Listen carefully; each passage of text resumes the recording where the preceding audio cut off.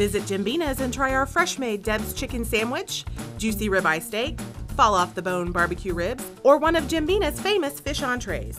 Make your reservations today at Jimbina's, 120 South 10th Street, Quincy.